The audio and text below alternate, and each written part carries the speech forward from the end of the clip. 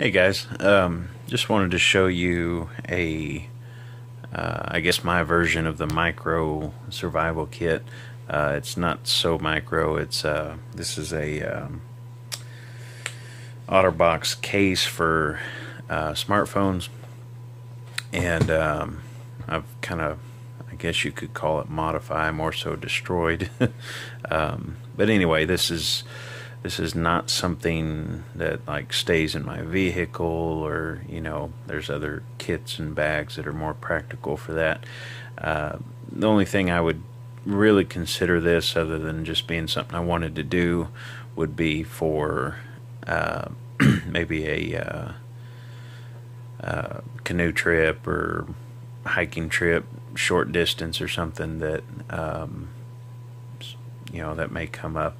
But um, anyway, most likely canoeing or rafting or uh, some kind of trip like that where you don't want to carry a huge bag, but um, you know, just kind of have something just in case. So, uh, first off, uh, every square inch in this thing is filled up. So, um, I wanted cordage. I wanted my my whistle. Uh, and so it, it's all got stuck on the outside. Um, I've got this Velcro wrap here, uh, mainly to keep this tight, just to make sure it's got that watertight seal. Um, and then that and the uh, bungee cord as well, um, maybe for strapping to uh, canoe or um, whatever. But anyway, that's just there. No big deal. Um, nothing real important. So I'll kind of uh, just talk about things as I unpack. And I'm really not going to like putting this all back in there because it's really very tight in there. Um, this case had a kind of two compartments. On one side, it had um, it had a mesh liner that you could pull out, and it it would kind of hold stuff in there to keep it away from your phone and kind of give you a little divider. Um, the hooks on it got in the way of a, a, little tin I have in here, so I just cut them out and I scraped a bunch of rubber on there that was supposed to hold things in place. Scraped it all out. So anyway, this is basically uh, what you're getting. Make sure I open this the right way. I can't remember which which side. Okay, so you can see here where I scraped all that rubber off. I literally needed every bit of space I could. It would would have been great if this was squared and not so rounded in here. Lost quite a bit of space, and there are a few things I wanted to put in here that I couldn't uh, because I needed that extra square inch. Uh, but anyway, that's what I've got. Um, a couple alcohol prep pads for fire starter. Um, not really for any kind of wound because if you really wound yourself, a micro survival kit is not really going to help you. Um, but uh, a signal mirror, I haven't taken the cover off yet. Just want to keep that protected. Uh, Fresnel lens. It's kind of beat up, but I think it would work. Um, mint, a micro Bic, um, a uh, magnifying glass case the Fresnel is not good enough. I really, I guess that's a little too redundant, but um, little super glue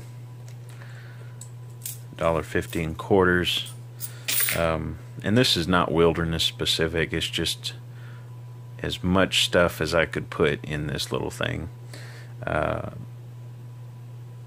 hot melt glue that you can use to glue something together with. Uh, this is a cool little flashlight. This is uh, made by MecArmy. I think you can read that. Um, MEC uh, Army and uh, it's it's really very bright. Um,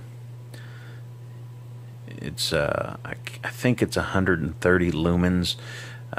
It's got two modes. Let's see, that's one. Oh, there's the bright one. Okay, yeah, that's 130 lumens. Um, I can't remember what the, the lesser one is, but it, it takes an extremely small battery. I can't remember the name of it. You can probably look it up pretty easy.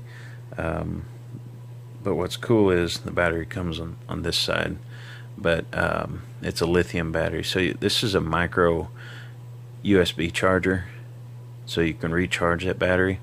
I've got two other batteries that I cannot find. I think I can fit them in here, but at least it's rechargeable. And um, if I need to, I can recharge it. I'll show you my charger in a minute. Little uh, cotton ball, say micro pin. Also got refills in there. So micro pin. Um, okay. So here's the tin. Um, this came obviously from uh, my ThruNite TN, uh, T10T, and uh, it's probably the coolest flashlight that I've ever had. Uh, it's made out of titanium, super strong, came with extra button, not just the button rubber that usually comes with them, but uh, came with a whole button unit. And uh, I may do a review on that. I'm not going to try and get big into reviews or anything, but uh, I probably will because I've carried this a lot and it's just uh, just awesome flashlight. But this is the tin that it came in.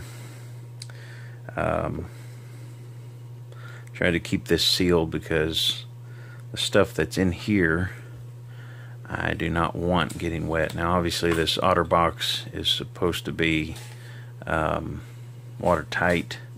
However, I do have a lot of stuff in there, so you kind of have to squish it down a little. Now that uh, electrical tape, obviously you can use that for tinder. Um, it's flammable.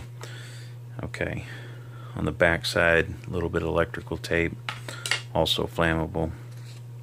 I think I got like 12 bucks here. No big deal, but a little cash. Um, Oasis water tab tablets. I think this will do two liters. It's written on there somewhere. I think one tab per liter. Um, anyway, they're super small. Um, dental pick. Uh, striker for matches. These stormproof matches.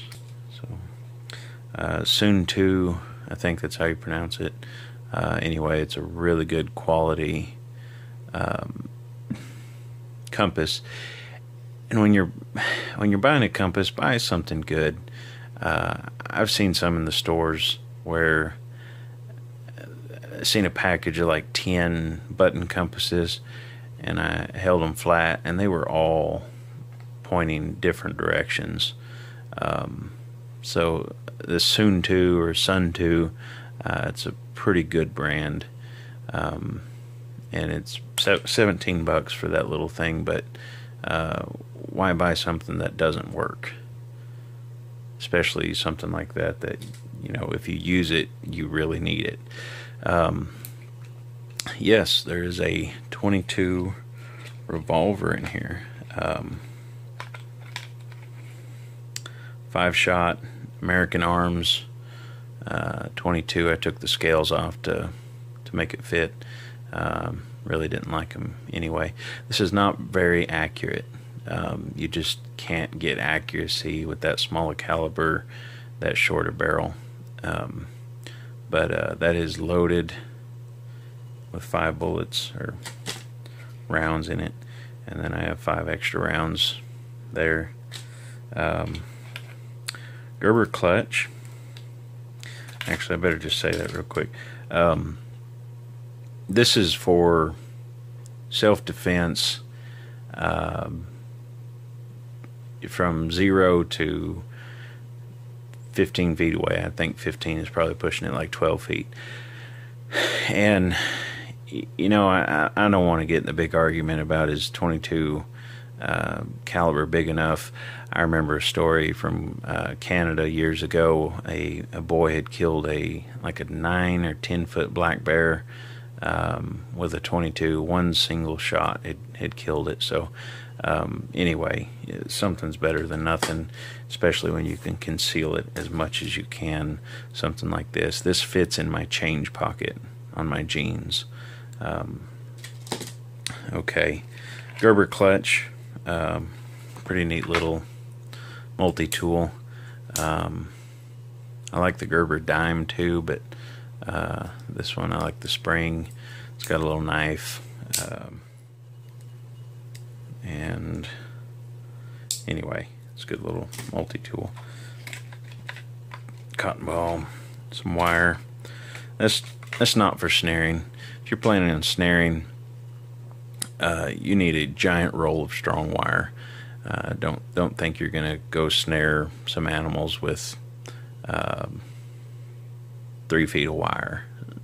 Anyway, it's just not practical. But that's just for cordage, just for tying things. This is the refills to that miniature pin. Another match. Uh, novelty item, I guess.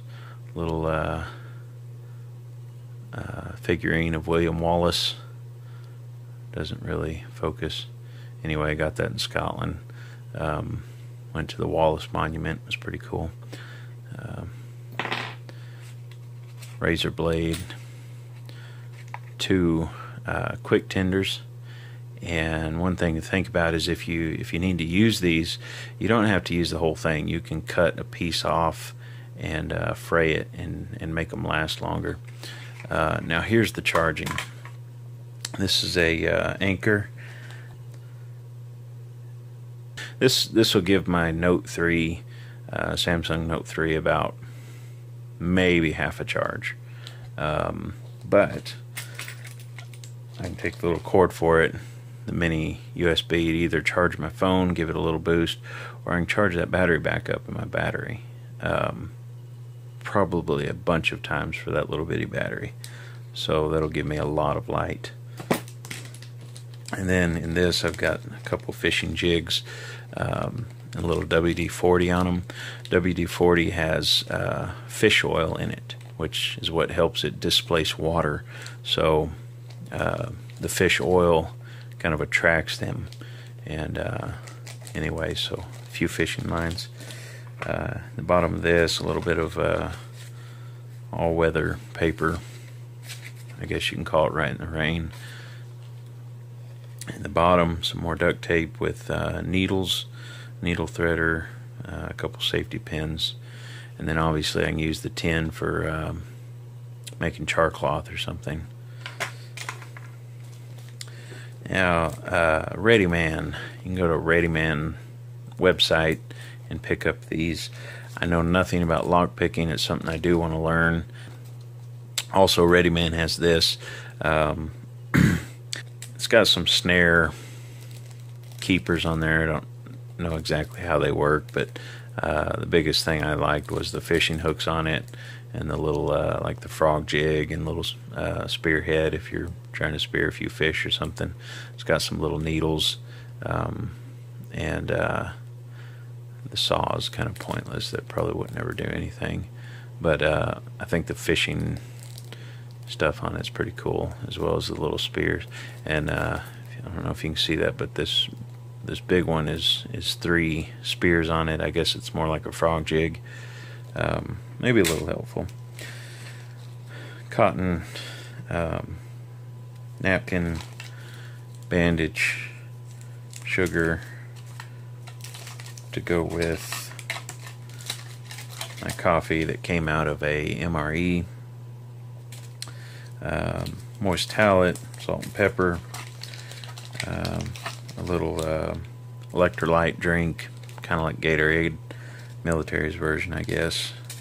Um, little Advil, um, one of those gimmicky um, wallet tools. It's actually pretty sharp, and the uh, the saw in here is actually pretty sharp too. If you're needing to notch any little sticks or something.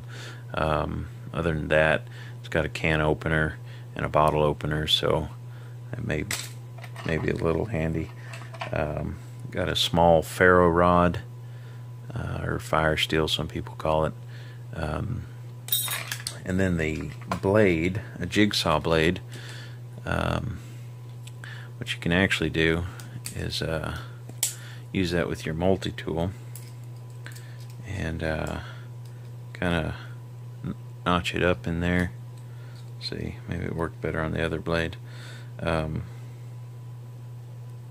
yeah, kind of have it notched up on this top side to where your pressure is keeping both sides and it gives it well I had a different blade in there worked better with but uh, you can actually saw pretty good like that um, for what this kit is. I mean obviously nothing's gonna be uh, that spectacular. And then uh, that's pretty much it. Um, a little bit of electrical tape there. So uh, and then have the whistle on the outside. Um, and then probably about 25 feet of this uh, jute twine which could also be used for fire starter and then about 10 feet 10 or 15 feet of paracord uh, tons of uses for that. And then this is about 15 feet of Kevlar cord and it's very small but uh, it's 450 pound test. Um, I think they call it uh, survival cord or something. But um, anyway uh, that's it. Um, and obviously the key pieces in here uh, to me that are going to be the most useful or helpful uh, or logical uh, are going to be um, little cache. Basically what's in this thing the the, the matches the gun uh, the charger or the external battery um, my compass um, and uh, so that's basically my kit. This thing measures about four inches uh, by about six to seven inches. I don't know exact dimensions but uh, I had to cut off these little hooks that were here on both sides. There are four hooks that held a uh, rubber mesh so you can have a compartment here and keep things in and have a phone or something over here. Now obviously that was in the way of sliding this thing down in here and it just fits perfect.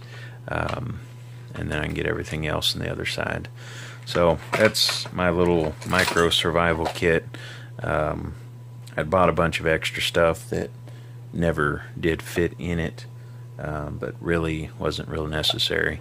And um, so anyway, that's uh, that's what it is. Basically, um, these uh, OtterBox cases come with these. Uh, I'm going to call them belt loops because I, I think that's what they are. Um, but you can't get a thick belt in there. It's it's it's pretty small, um, and so that was a an, another reason for putting this uh, cordage on the back was I can pull some of this up and slip uh, my belt through it and just have it on there pretty tight. Um, if you got a, a small thin belt, um, that'll probably fit, but it'll probably be one of those cheap leather ones um, that you're probably not going to have in the first place on a uh, hiking, camping, canoeing trip or something. Um, probably, if you've got a webbing belt, that would probably fit if it's like one of those uh, military ones um, with the little shiny buckle. Um, probably not one of these newer ones that are uh, I can't remember what they're called now, like riggers belts. I don't I don't think those would fit. Um, but that was uh, another purpose for that cordage, and um, and then I got a little. This OtterBox comes with that strong rubber tie down, I guess you could say, um, and then I just threw a little carabiner on there. Um, so basically, you got a lot of options as far as tying it down to a canoe or um, tying it down to your belt and then pulling something over on your leg. But uh, I thought I'd add that in there real quick.